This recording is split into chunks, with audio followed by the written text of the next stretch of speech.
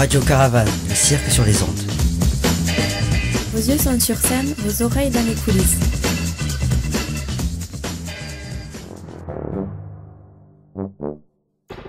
Salut à tous et à toutes. Welcome to the radio show. Vous êtes à l'écoute de Radio Caravane.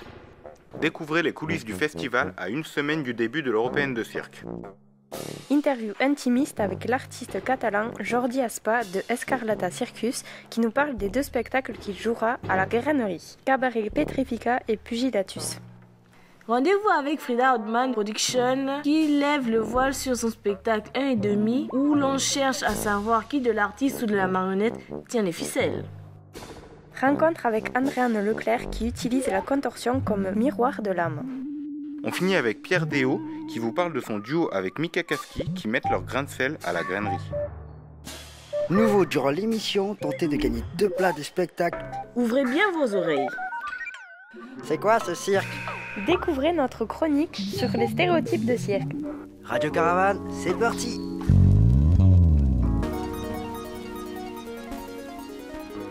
Bonjour. Bonjour.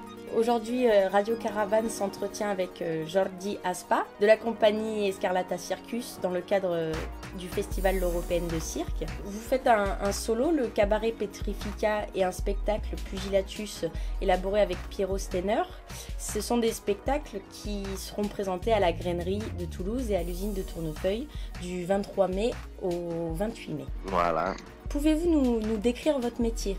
Notre métier, euh, c'est entre faire rire les gens et le faire euh, surtout sentir qu'ils sont vivants et que le pouvoir il est dans leur cœur.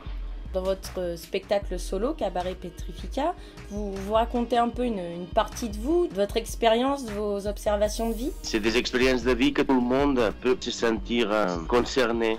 On, on a commencé le spectacle à partir de la légèreté et la pesanteur, la grâce on joue avec du papier aussi et il finit avec un gros poids à la fin. Et au milieu, il y a tout un voyage avec, les éléments qui y a autour. Et on essaye d'en faire quelque chose de vivant. C'est en fait, c'est un homme qui est là il est, toujours, euh, il est toujours les mêmes personnages, soi-disant, mais il, se transforme. L'idée aussi du spectacle, c'était de montrer une facette de ce bonhomme et finir euh, avec un, dépouillement de, de ce bonhomme, quoi. Ouvrir les corps, le physique, euh, a changé complètement. Est-ce que le fait d'être saltimbanque euh, ou clown, c'est un entraînement quotidien? Est-ce que c'est... Euh... Moi, je suis un peu feignant, mais, mais dans la vie, on, on répète tous les jours des choses et on ne s'en rend pas compte. Mais, mais c'est cette répétition que j'aime bien, c'est la répétition de la vie. Après, l'appliquer et faire une petite méthode pour répéter, pour travailler. Concernant votre spectacle Pugilatus, d'où est venue cette collaboration avec Piero Steiner? Euh, Est-ce que vous avez tout de suite eu une complicité sur les, sur les mêmes idées Oui, oui, avec Piero, on se connaît depuis très longtemps, on avait joué déjà à notre spectacle. En fait, c'est venu un jour en sortant d'un spectacle et, et quelqu'un nous a fait un commentaire, Piero l'a répondu à côté de moi, on était ensemble, on s'est regardé et on a dit on, on va faire un spectacle. Et c'est venu comme ça, voilà. Et votre, du coup, votre spectacle pour faire prendre conscience, pour éduquer le public, euh, il doit en ressortir un petit peu grandi, construit? Ça, c'est des expériences personnelles et on ne se prend pas par des éducateurs euh, de la vie, mais nous, on sert un plat et après, chacun, il les mange ou très vite ou il ne mange pas. Il les boit tout de suite ou il les digère très lentement, il les digère très rapide et il dit que c'est une caca. Et justement, qu'est-ce qui fait rire ces, ces, deux clowns dans le spectacle? Il y a un truc physique entre nous deux. Et chacun, il est, il est d'un physique euh, très différent à l'autre, un caractère. Et ce qui fait rire, c'est aussi que les gens peuvent se, se, mettre à notre place. On, on rit de ça parfois. On sait rire parce que on connaît les situations où ils sont les personnages, en fait. On, on doit se sentir impliqué dans cette situation et on rit parce qu'on les trouve ridicules ou parce que c'est par là où on, où on, où on canalise l'émotion. Concernant vos, vos, spectacles ou le cirque en général, quels préjugés vous, vous gênent? Il faut être honnête, il faut être humble dans la vie. Alors quand il n'y a pas une humilité, je ne sais pas si on dit humilité ou honnêteté, euh, voilà, ça, ça, ça me dérange beaucoup. Et donc une, une phrase que vous aimez entendre par contre? Euh, quand quelqu'un te dit la vie est belle, voilà. Après le festival, quoi de, quoi de prévu des, des dates, des projets à venir? Après Toulouse, on va à Montbéliard avec, avec euh, Cabaret Pétrifié. Et, et, après, il y a quelques dates comme ça qui sont en train de, de, de, se, de se coudre. Parce que, bon, tout va à la dernière minute dans notre pays avec cette crise, avec tout ça. Il y a des choses qui sont tombées, il y a des autres qui arrivent. Mais sinon, il y a un projet pour ce Noël, pour faire un cirque, euh, de mettre en scène un, un collectif. Je mélange aussi la, l'accompagnement artistique ou, ou, ou, direction artistique des autres compagnies avec, notre, avec nos spectacles.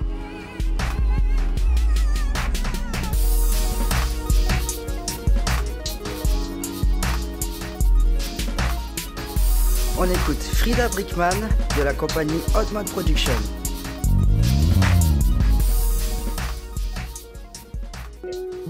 Euh, bonjour, je suis Frida Oden-Brinkman de la compagnie Oddman Productions. Je viens de la Norvège. Vous sortez de l'école du cirque Piloterna en Suède et l'école du cirque Fratellini en France. Est-ce que vous pouvez nous en parler? Euh, Oui, j'ai fait un an d'école de cirque à Stockholm dans le pilote de cirque. C'est l'école de cirque cirqueur. Et puis après ça, j'ai voulu faire les trois ans de l'université de danse à Stockholm, j'ai aussi tenté quelques écoles en France. Et comme j'ai entré à Fratellini, je me suis dit que c'est mieux d'y aller en France pour en profiter un peu le, le monde du cirque là-bas. Puis j'ai fait trois ans de l'école du cirque à Fratellini, où j'ai spécialisé pour le jonglage et le filmou. Et puis j'ai sorti en 2008. En 2006, vous avez gagné le titre de Solo Ball Boutsing Number à l'International Jugglers Association qui se déroule aux États-Unis. Comment ça s'est passé? Eh bah, mmh. J'étais dans la convention AGA aux États-Unis et puis avant le concours de balle rebond, je me suis dit, bon, je, je, vais essayer ça. Je sentais ça un peu ridicule de faire une olympiade de, de technique de jonglage. Mais comme j'étais la seule fille qui entre dans le concours, c'était quand même drôle. Et puis, bah, j'étais la plus forte. Il faut le faire 18 rattrapes au moins avec 9 balles. Et j'ai fait 26 ou un truc comme ça. Et les autres, ils n'ont pas réussi à faire le 18. Du coup, j'ai gagné. Cette année, vous venez nous présenter votre premier spectacle 1 et demi.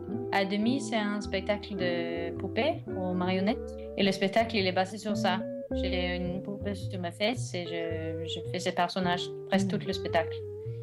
Et lui, ben, il est un bonhomme un peu triste et un peu seul. Il doit recommencer dans sa vie à retrouver un peu de sa manière de faire la chose. Le nom du personnage, c'est Antaro. Antero. Quelle est votre relation avec lui? Je ne sais pas. c'est le personnage du spectacle. Dans le spectacle, je suis une femme euh, qui est au début, c'est juste à voir dans sa tête, mais en plus en plus dans le spectacle, j'entre à faire sa copine. Mais la vie, euh, je sais pas, c'est bien d'avoir un deuxième personnage, et c'est pas moi. Ça me rend plus facile de, vendre le spectacle. Il y a des choses bien sur lui. Parce que c'est presque comme c'est pas moi, même si c'est une poupée posée sur moi. Oui, vous avez appelé votre spectacle un et demi, c'est un peu comme s'il était votre moitié, non? Oui, ou même lui il est un et moi je suis le moitié dans le spectacle. il sort dans son dos. Comment et pourquoi vous avez choisi euh, d'utiliser une marionnette dans votre spectacle? Eh bah, c'est plutôt que j'ai trouvé l'idée de, de, le poupée. Déjà, j'ai prévu de faire un numéro de jonglage avec, mais quand j'ai trouvé que c'était drôle quand il faisait des choses de, de, de quotidien. Je suis fait des de recherches, j'ai fait tout un spectacle avec lui. Mais c'est surtout aux bases de, de le personnage ou le, le poupée. Mais euh, vous avez aussi une manière euh, originale de manipuler la marionnette. Vous pouvez nous en parler de, de ça aussi? Eh bah, il est monté sur mon fesse, mes fesses. Oui. Dedans. Oui. Et puis, euh, mes mains, c'est ses mains et ses pieds, c'est des chaussures qui sont montées sur mes pieds. Du coup, je fais tout euh, à l'envers, tête en bas. Je, je, rentre dans son personnage, quoi. je fais comme je suis lui, mais avec les têtes en bas. Oui. C'est vous qui lui donnez vie. Oui, c'est ça. Et qui est-ce qui l'a fabriqué, la poupée, la marionnette? Euh, La tête, c'est mon frère qui l'a fabriqué, la, la visage, le visage. Et puis moi, je suis, j'ai, je l'ai traité avec le, le papier et le, le col qu'il fallait. Et puis après, j'ai les bras et tout ça, j'ai fait moi-même. Mais la tête, c'est mon frère qui est marionnettiste et de poupées. Comment se passe euh, l'interaction avec le public? Parce que vous êtes euh, de dos pendant tout le spectacle Je parle et puis euh, je, je, sors aussi de son dos de temps en temps. Je peux regarder le public aussi. Est-ce que vous pouvez, euh, vous avez des prochains spectacles, euh, des dates à prévoir? Oui, je, bah, je rentre il y a deux jours d'Espagne. Je vais là-bas et puis je vais jouer à Suède en août et septembre, et puis je vais faire des tournées scolaires en Norvège tout l'automne, à partir de septembre jusqu'au décembre, et aussi en janvier. Vous auriez un site internet où on pourrait, si nos auditeurs ont envie de faire des recherches, où est-ce qu'on peut Oui, c'est sur www.amazingantero.com. Vous avez peut-être un coup de cœur ou une compagnie euh, que vous avez vraiment envie de voir pendant le festival? Bah, C'est le Magmanus. C'est un Norvégien et un Français qui, qui a un spectacle très drôle. Mmh. J'ai juste vu un, un travail en, en, procès, du coup, j'ai très envie de voir le spectacle en entier. Mais merci beaucoup. Bonne journée. Au revoir. Merci. Ciao.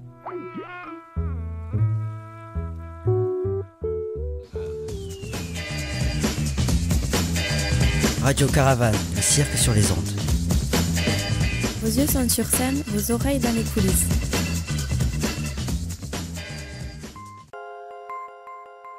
Place à Andréane Leclerc, contentionniste émérite, qui nous parle de son travail d'artiste et ses performances.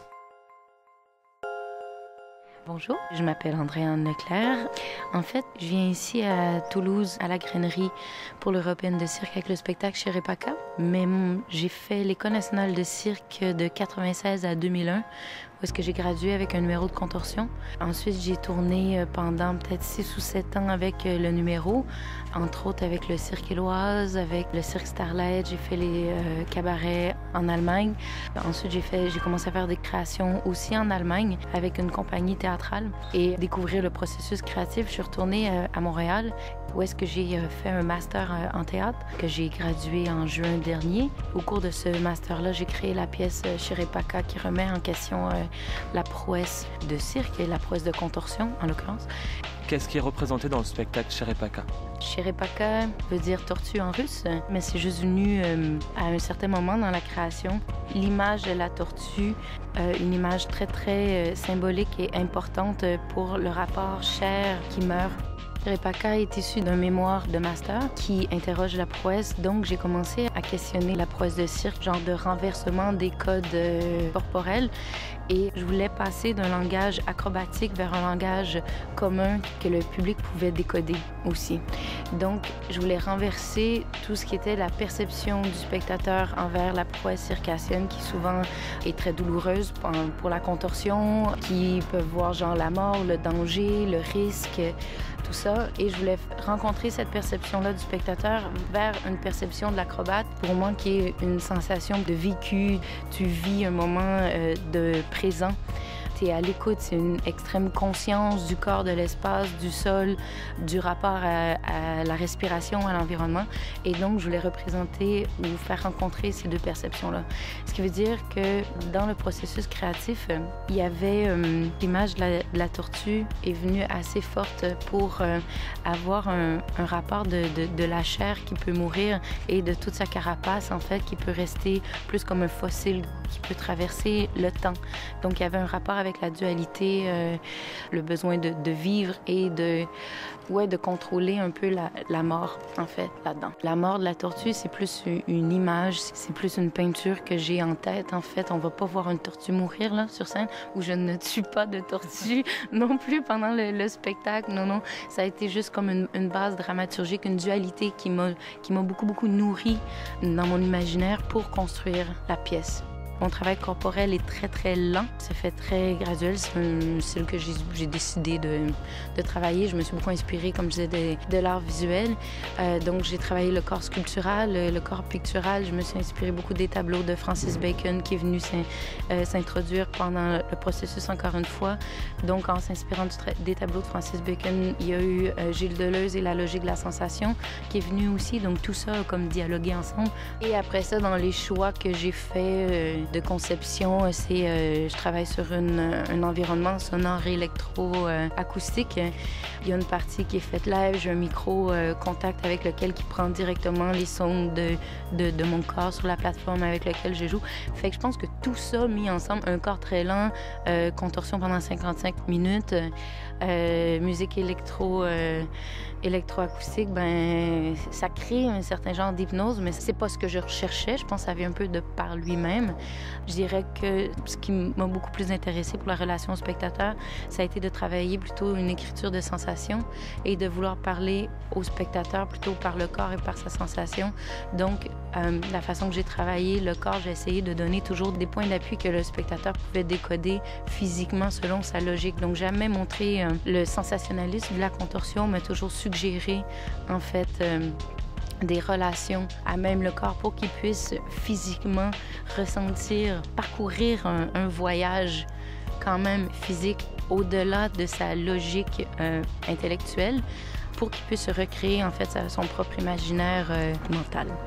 Vous faites aussi une performance en association avec le sculpteur Nicolas Malishka. En fait, vous faites une liaison avec le, sculpteur et vous. Est-ce que votre corps n'est plus que matière du coup? Ben, Je conçois vraiment mon corps comme une matière en fait, dans tout ce que je fais. Avant de faire Chiripaka, j'ai fait une, autre pièce qui s'appelle Disparu, que je me suis intéressée beaucoup à la phénoménologie.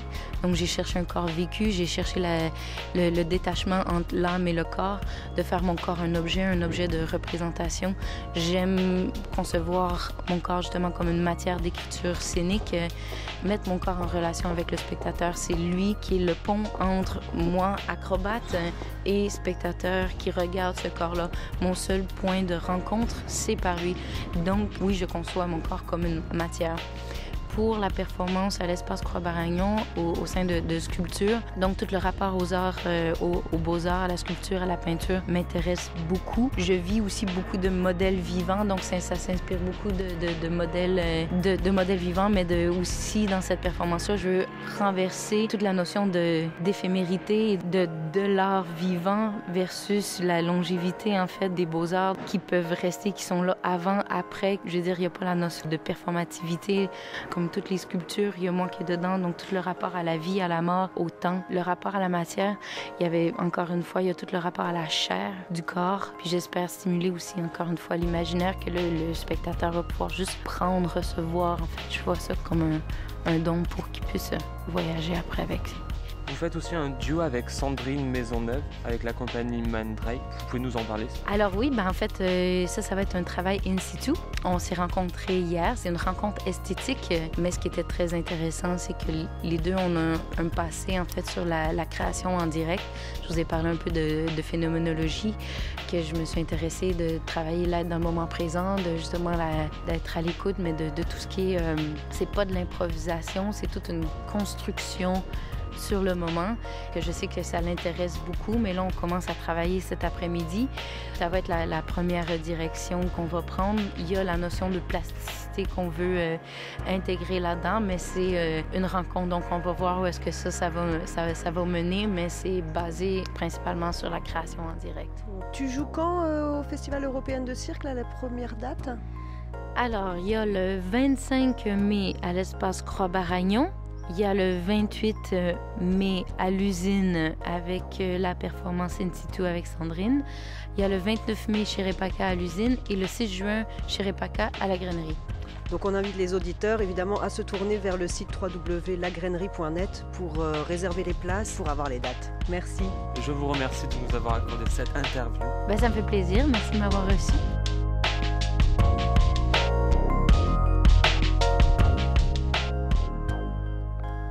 En avec Pierre Déo qui nous présente son spectacle Le Grain.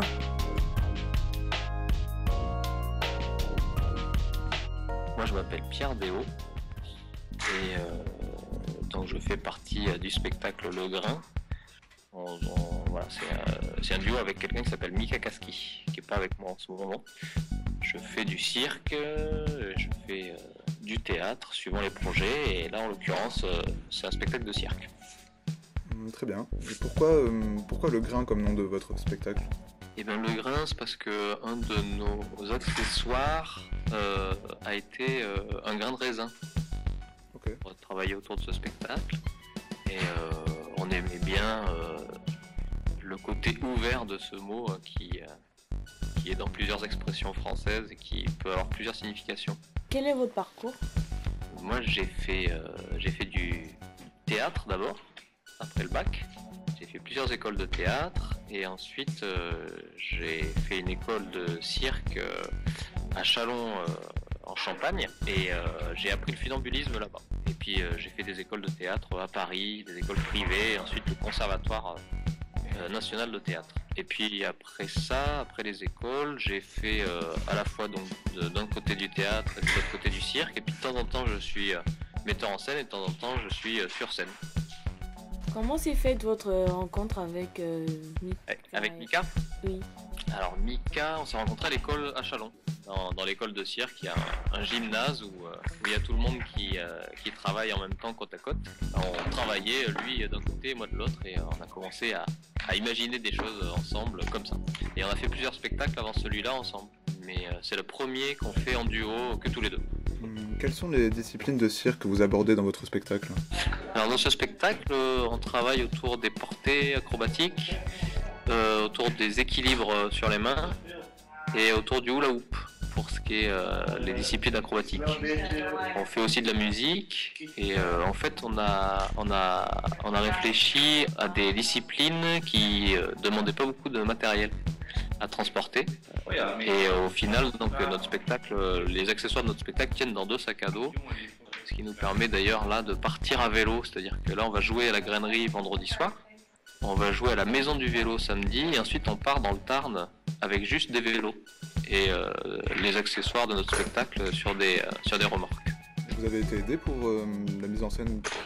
Oui, on a, écrit euh, ce spectacle avec euh, Stéphane Broulot, qui est un, ami euh, qui vient du théâtre aussi, et qui a, qui a coécrit le spectacle avec nous.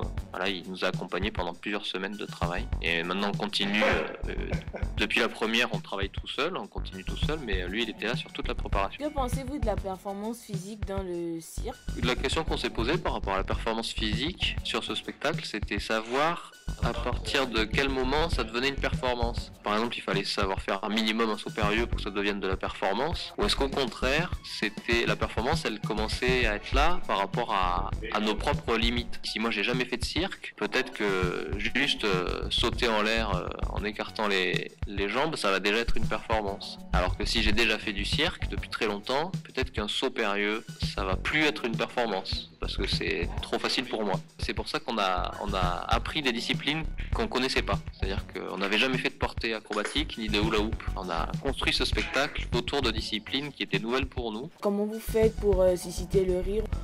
On, on cherche pas forcément le rire. Euh, le fait d'être débutant dans une discipline, ça va faire qu'on va pas la faire pareil que si on est très expérimenté. Et donc il y a quelque chose qui est fragile là-dedans, qui nous plaît, qui peut susciter le rire, mais qui peut susciter autre chose aussi. Est-ce qu'il y a une part d'improvisation dans votre spectacle? Ouais, il y a des choses qui sont différentes euh, suivant comment ça se passe euh, à chaque fois. Vous pouvez nous rappeler les dates du spectacle lors du festival Alors, c'est euh, vendredi 23 mai, et ensuite on joue aussi jusqu'au 28. samedi 24, c'est à la Maison du Vélo, en face de la gare à Toulouse. On joue à Cuctoulza, qui est un petit village du Tarn, le dimanche. Et le mercredi à Lautrec, c'est dans le Tarn, c'est un petit village du Tarn, le mercredi, au Café Plume. Donc voilà, c'est la tournée à vélo qu'on appelle la tournée Toulouse-Lautrec. Et on aimerait aussi faire une tournée à vélo un peu plus grande euh, qui durerait sur un mois euh, l'été prochain. Avez-vous un site pour euh, avoir l'actualité de vos, différents spectacles? C'est le-grain.info. Ouais, voilà. Merci, au festival.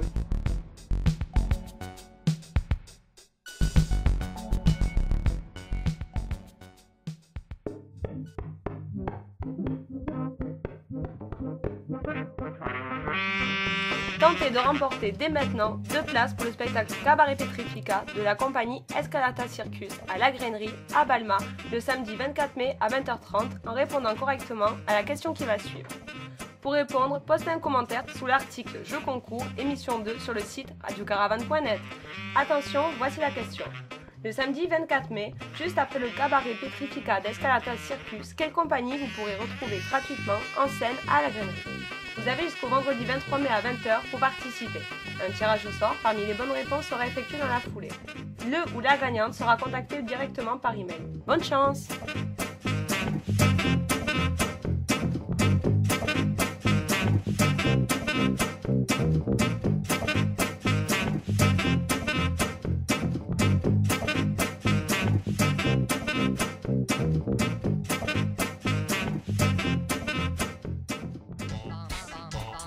Eh, c'est quoi ce cirque Les stéréotypes du cirque. Alors si je vous dis le mot cirque, vous pensez à quoi Euh, les clowns, euh, trapèze, euh, zavata, tout ça quoi. Le cirque traditionnel apparaît au XVIIIe siècle, commençant principalement par les écuyers. Le cirque est itinérant, il appartient à une famille qui se transmet le savoir, il monte le chapiteau, les animaux sont présents, Monsieur Loyal et la clownerie aussi. L'émotion se fait dans le danger, le rire, le risque et dans l'exploit. Si je vous dis le mot cirque, vous pensez à quoi Clown. Après la Seconde Guerre mondiale, dans les années 50, le cirque traditionnel connaît une crise, une désaffection du public liée à la radio et à la télévision. Dans les 70s, des jeunes artistes de cirque essaient de renouveler les arts de cirque avec quelques modifications, comme le lieu de scène, la disparition des animaux et de Monsieur Loyal, en remplaçant avec de nouvelles disciplines comme le théâtre, la danse et plein d'autres encore. Si je vous dis le cirque, vous pensez à quoi? Cirque Plume Le cirque existe depuis l'Antiquité. Il y a plus de 3000 ans, les Égyptiens organisent des défilés d'animaux sauvages. C'est sous les Romains que le stade où étaient organisés des combats de gladiateurs, des bestiaires, des défilés de voltigeurs à cheval et autres activités qu'il prit le nom de cirque. Il y eut un grand succès, plus de 300 000 personnes assistaient au spectacle. Au Moyen Âge se développent des groupes de personnes vivant de façon nomade, qui se déplacent de ville en ville pendant les foires et les marchés, présentant principalement des spectacles, des numéros d'acrobatie, de jonglage et de domptage. Ils se nomment les saltimbanques. Si je vous dis le mot cirque, vous pensez à quoi? Jongleur, chapiteau, euh, animaux, enfants, clown.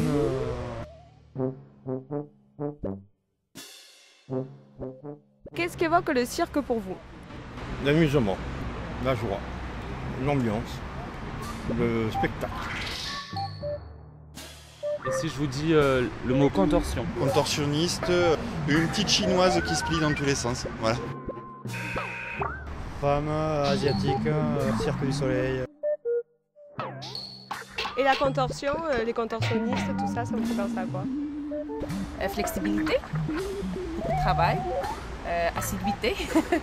Donc, euh, dans l'ensemble, c'est ça vraiment. C'est, euh, j'imagine que c'est pas vraiment évident. C'est beaucoup de travail à faire euh, pour garder la flexibilité et euh, l'aisance euh, sur scène.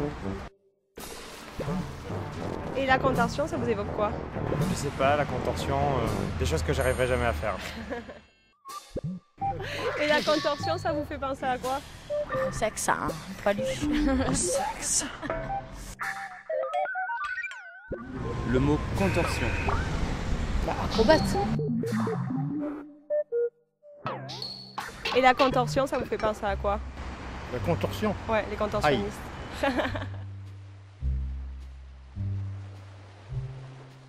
Cette émission est placée sous licence Creative Commons, paternité, pas de modification, pas d'utilisation commerciale. Nous tenons à remercier Anthony Barat qui a composé les musiques du spectacle de Frida Brinkman de Hodman Productions pour nous avoir permis d'utiliser ces musiques. Radio Caravane, l'émission, c'est fini pour aujourd'hui. Retrouvez les interviews complètes et les photos sur votre site radiocaravane.net et sur les réseaux sociaux. Et réservez dès à présent vos places sur le site la-granerie.net. On se retrouve même jour, même heure, même fréquence et que le cirque soit avec vous. Marre de votre quotidien, marre de courir dans la rue sans en profiter, ralentissez. Et pavanez-vous sur le pavé avec un véritable safari circassien. Dans toute la ville, le dimanche 25 mai. À partir de 16h, depuis la Dorade, retrouvez les équipes franco-espagnoles des chemins émergents. Et en fin de balade, une performance artistique faite de chair et de bois vous attend à l'espace Croix-Baragnon à 18h. Toutes les infos sur www.la-grainerie.net. Parcours organisé par le festival L'Européen de Cirque.